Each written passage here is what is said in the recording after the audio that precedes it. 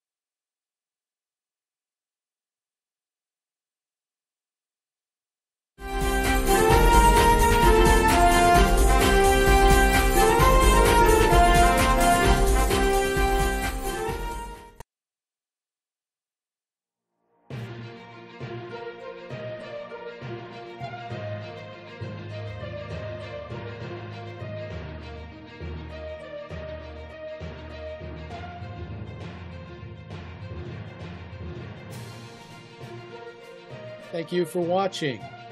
Can you do me a favor? Please leave a comment in the comments section below. That would really help. Thank you and see you again soon.